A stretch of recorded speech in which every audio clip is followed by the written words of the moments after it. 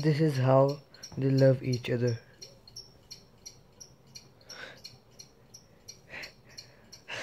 Siblings for life.